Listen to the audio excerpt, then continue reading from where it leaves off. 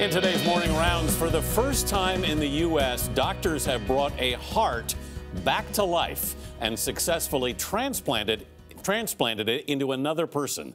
They used a special device to revive the heart of a 26 year old donor who died of cardiac arrest. The doctors say the recipient, a military veteran, is doing well.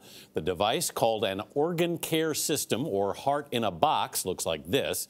It's currently in clinical trials, including that breakthrough surgery. Dr. Tara Narula is cardiologist at Lenox Hill Hospital, Northwell Health in New York. Tara, good morning. Good morning. How did they pull this off? I know, Terry, you look at that and you go, yippee! You're amazing. It is, like, wow. amazing. Like, oh. You know, it's been 52 years. 1967 was the first heart transplant, and we've really been doing them the same way, this traditional way. And this really has the potential to kind of revolutionize how we transplant patients. And so essentially, in the traditional heart transplant, somebody, the donor, is brain dead, right? right. So they have no brain function, but their heart is working really well. It's pumping normally. Yep. So the transplant team goes in, they take the heart out and immediately put it in a cooler. The heart's not beating in the cooler, but they only have six hours essentially to get it to the recipient and implant it, shock it back to life. Mm -hmm. With this new technique, you're essentially allowing someone to die, their heart function to stop. So you take the breathing tube out, you mm -hmm. pronounce them dead, and at that point you take the heart out, but you immediately put it into that heart box, as you saw, where it's brought back to life. It's perfused with warm blood and nutrients and oxygen. Ah. And so it's kind of almost like a normal physiologic state. The heart is beating, and that buys the surgeons about 12 hours uh -huh. to get the heart to the new uh, recipient. How did they even know that this was possible?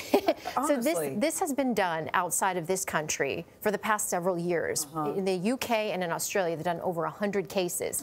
And they found when they followed these patients over the last couple of years that they seem to do just as well in terms of survival and the heart function as though pa those patients who had the traditional heart transplant. So what does this mean for the thousands of people who are waiting for a heart transplant? Well, this is really good news. I mean, Game mean, changer, right? Exactly. So you can imagine waiting for months and waiting and waiting, and then potentially never getting a heart. Many people pass away while they're waiting. And so the, the surgeon who performed this yesterday said this has the potential to increase the donor pool by about 30%. 30%. That's Which is a big number. Exactly. Do you have any word on the patient's prognosis who got the heart? So we heard this morning he's up, he's walking around, he's Right. doing well. He How was old is he? 60-year-old military veteran who had had really end-stage heart failure.